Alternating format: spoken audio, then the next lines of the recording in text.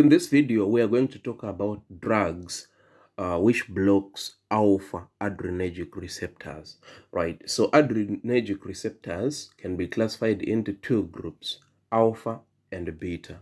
Alpha, we have alpha 1 and alpha 2. And beta, we have beta 1, beta 2, and beta 3. So we'll talk about beta blockers in the next video. In this video, we are focusing on alpha blockers, right? So alpha blockers can be classified into two groups. We have selective alpha blockers. They only act on alpha 1 adrenergic receptors. And non-selective blockers, they act on both alpha 1 and alpha 2. Selective alpha 1 blockers include prazosin, doxazosin, tamsulosin, terazosin, right? So you can see the suffix osin, osin, that's the ending. So they inhibit alpha 1 receptors. Non-selective uh, alpha 1 and alpha 2 blockers include phenoxybenzamine and phentolamine, right? So uh, phenoxybenzamine. Phenoxybenzamine is actually an allosteric inhibitor. It does not attach on the active site, uh, but on an allosteric site. So you see what happens here. There will be deformation of this site. If epinephrine comes, this uh, receptor will be deformed, meaning to say no effect uh, will be induced, right? So it's irreversible, it right? Allosteric inhibition, irreversible blockade. Next, phentolamine. Phentolamine is a competitive inhibitor.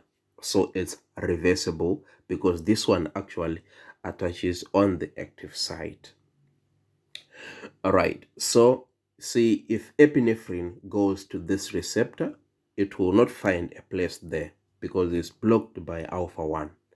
The same here, uh, block is blocked on alpha 1 and alpha 2. Right, so this cell, let's say this cell is a smooth muscle in the tunica media of blood vessels, right? And let's zoom it in and see what happens.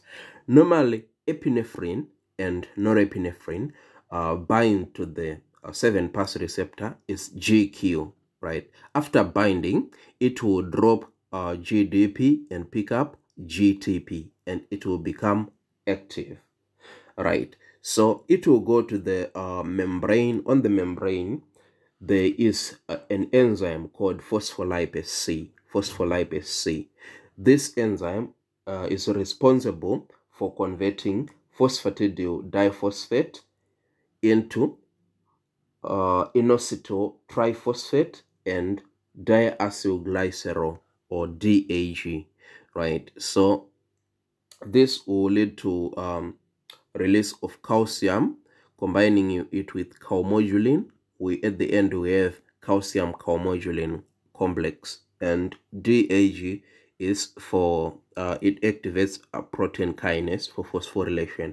There will be phosphorylation of myosin light chain kinase, right? And combining with calcium, this will induce smooth muscle contraction, right? So if we block this receptor, right, in the presence of alpha blocker, this whole cascade of reactions will be inhibited. At the end, we have reduced smooth muscle contraction. Right. So before this, before alpha blockers, uh, this reaction causes uh, smooth muscle contraction. It's called what? A vasoconstriction. Vasoconstriction. But if we inhibit this, it causes vasodilation. If we do vasodilation, we reduce blood pressure, right? Okay, so um, indications of alpha 1 blockers. First one, we have hypertension. Hypertension. Uh, right, so I said um, the mechanism will lead to vasodilation, uh, decrease in uh, total peripheral resistance, and decreasing blood pressure, right? But remember, alpha blockers are actually second line drugs. The second indication is hypertensive crisis, which takes place in uh, people taking monoamine oxidase inhibitors like selegiline, right? So if we, if a patient is taking uh, these drugs and then eat tyramine containing foods, for example, cheese and wine, this will cause hypertensive crisis.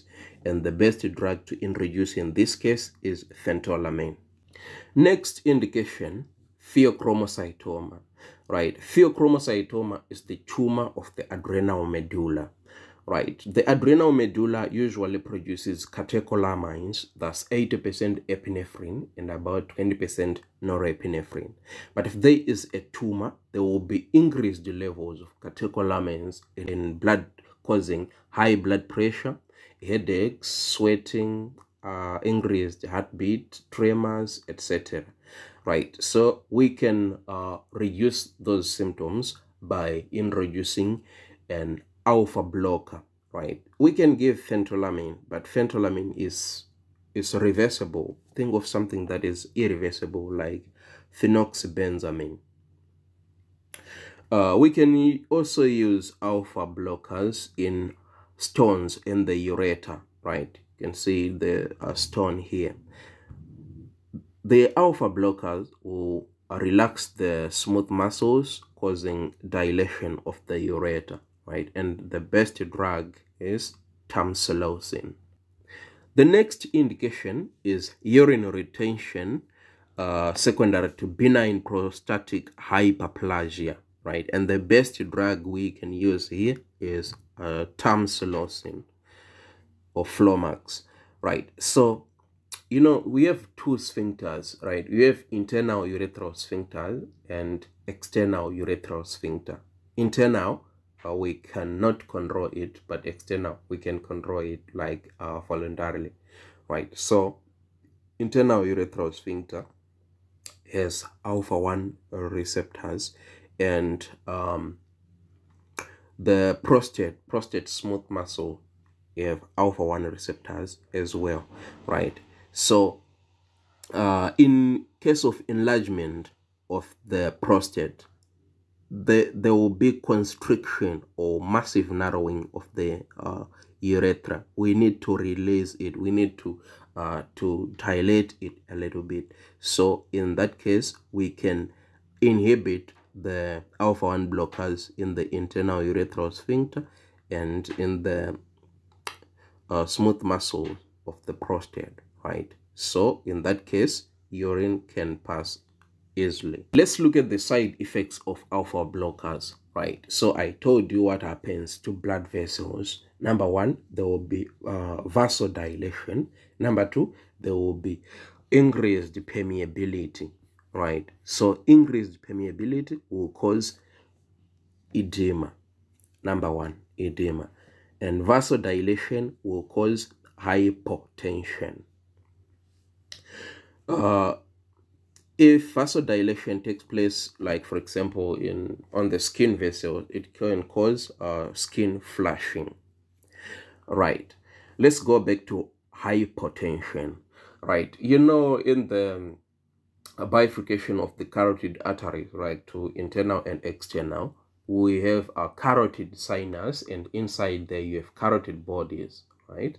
And if you think about aorta in the aortic arch we have um aortic bodies there in the aortic sinus right? So in uh those bodies the aortic and uh, carotid bodies we have our baroreceptors right? Which can sense the level of our blood pressure right? If uh, it finds out that in this case is uh, decreased it activates the uh, sympathetic nervous system, which will increase the heart rate and causes reflex tachycardia. Reflex tachycardia. Next, uh, look here, right? So you have the urinary bladder here, urethra, and prostate. And if you look here, is uh, ejaculatory duct and uh, seminal vesicles, right? So uh, we are talking about um, enlargement of the prostate, right? is is enlarged. But uh, in this case we have dilated it a little bit. We inhibited the alpha 1 blockers right? So what can be the side effects? Urinary frequency because we have uh, relaxed it uh, uh, together with the internal urethral sphincter right? So they can be urinary frequency uh, incontinence and because of a dilation of this there can be a retrograde ejaculation retrograde ejaculation. The last side effect that i want to mention is intraoperative floppy iris syndrome isis ifis isis ifis i didn't say that right. But in this case uh, this syndrome consists of poor preoperative pupil dilation together with progressive intraoperative uh, pupil constriction and iris prolapse to the surgical incision, right? Uh, prolapse through the surgical incision, right? So uh, the uh, most common drug associated with uh, intraoperative floppy iris syndrome is tamsulosin. So before doing cataract surgery, you need to ask the patient if uh, the patient is taking any alpha blockers, particularly tamsulosin, right? Because it's associated with this syndrome. Thank you so much. Thank you for your attention. Peace out.